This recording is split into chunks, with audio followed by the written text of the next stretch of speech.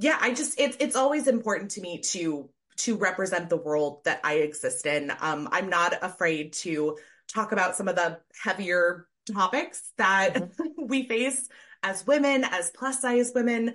Um, but I will say the one thing that's very important to me is that I will always write happy fat characters. Um, mm-hmm. They will not be characters who don't love themselves because of their bodies. Um, right. They love themselves and their bodies like mm-hmm. for exactly who they are and so that that is something that is very much a part of my brand